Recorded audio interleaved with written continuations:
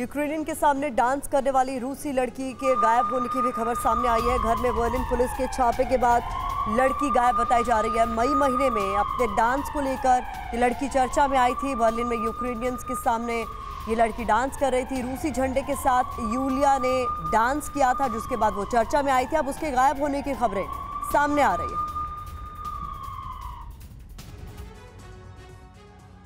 ये है Yulia प्रोखोरोवा।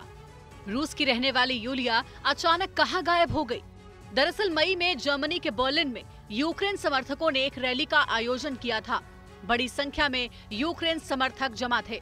Ukraine के समर्थन में नारेबाजी हो रही थी। तभी वहाँ यूलिया प्रोखोरोवा प्रकट हुई और रूसी झंडे के साथ नाचने लगी। यूलिया के डांस का वीडियो पूरी दुनिया में वायरल हो गया और वो अचानक चर्चित हो गई। लेकिन यूलिया के प्रदर्शन से न सिर्फ़ यूक्रेनी प्रदर्शनकारी नाराज़ हो गए, बल्कि जर्मनी की सरकार को भी उनकी ये हरकत नागवार गुजरी। इसके बाद प्रशासन ने एक्शन लेते हुए यूलिया के बर्लिन स्थित घर पर छापा मारा। उसके बाद से यूलिया प्रोखोरोवा का कुछ पता नहीं है।